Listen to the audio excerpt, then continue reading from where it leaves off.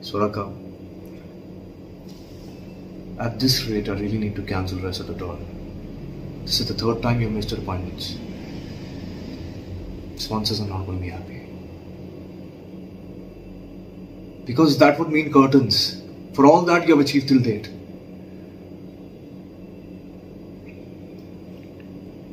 Listen, I know you're tired. You need a break. It's just two shows. We'll do it. We are done. After that, you can take some time off for yourself. Okay?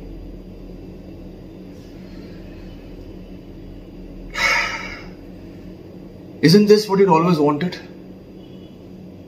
What is it with you stars? You spend third of your life slogging it out to get the crowds, the applause, the accolades.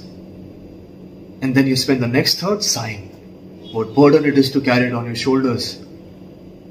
And then the last third, you stare at others climbing up the hill which you have descended, reminding everyone that you have been there, done that, as you wait in line for a lifetime achievement award.